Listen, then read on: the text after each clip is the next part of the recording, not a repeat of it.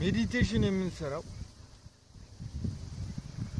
ከሚታየው ዓለም ወደማይታየው ዓለም ገብተን ይሄ የሚታየው ዓለም 3D dimension ይባላል። physical የሚታየው ዓለም በአምስቱ የስሜት ህዋሳቶቻችን የምንጠቀመው feel የምናደርገው ነው።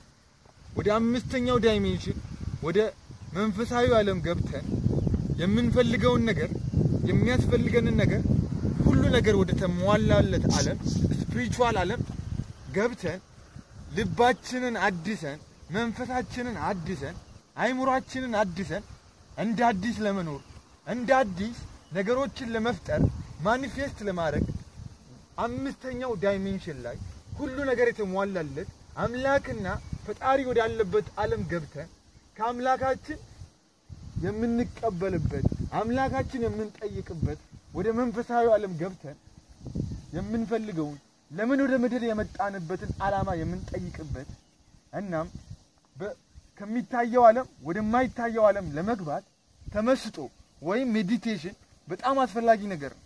ራሳችን ማዳመጥ፣ ለራሳችን ጊዜ መስጠት፣ ለራሳችን ጊዜ በመስጠት መንፈሳችንን እንደ አዲስ ማደስ አስፈላጊ ነገር ህይወትህን ለመቀየር መረጋጋትን ለማምጣት ራስን ማዳመጥ፣ አምላክን ማዳመጥ እንዲሁም ተፈጥሮን ማዳመጥ አንደኛውና መሰረታዊ ነገር ነው።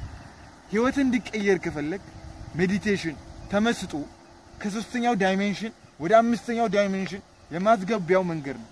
ሰላም ይሰማሃል፣ መረጋጋት ይሰማሃል፣ ጽናት ይሰማሃል። ይሄ የአባቶቻችን ተግባር ነው። ገዳም ውስጥ እንዲሁም የተለያየ ቦታ ለራሳቸው ጊዜ ይሰጣሉ፣ ለራሳቸውን ያዳምጣሉ፣ አምላካቸውን ያዳምጣሉ። እኛም የተቻለንን ያህል ከተማ ውስጥ ብንኖርም ለራሳችን ሀያና ሰላሳ ደቂቃ ጊዜ በመስጠት ውስጣችንን ማደስ እንችላለን። መንፈሳችንን ማደስ እንችላለን። የተሻለ ነገር ማምጣት እንችላለን። የሰው ልጅ መንፈሱ በታደሰ ቁጥር የሰው ልጅ ከሶስት ነገር ነው የተሰራው፣ ስጋና ነፍስ እንዲሁም መንፈስ። እኛ ስጋዊ ፍጥረት ብቻ አይደለንም፣ መንፈሳዊ ፍጥረትም ጭምር ነው። ስለዚህ መንፈሳችንን ማዳመጥ አስፈላጊ ነገር ነው። የተመስጦና የአርምሞ meditation center እየከፈትን እንገኛለን። ከኛ ጋር መስራት የምትፈልጉ ሰዎች ቪዲዮውን share በማድረግ like በማድረግ እንዲሁም subscribe በማድረግ የተለያየ መረጃዎችን የተለያዩ ስለ መንፈሳዊና ሳይንሳዊ ነገሮች አብረን እንነጋገራለን። ለእናንተ የሚጠቅሙትን ነገሮች እናቀርባለን። ስላዳመጣችሁን እናመሰግናለን።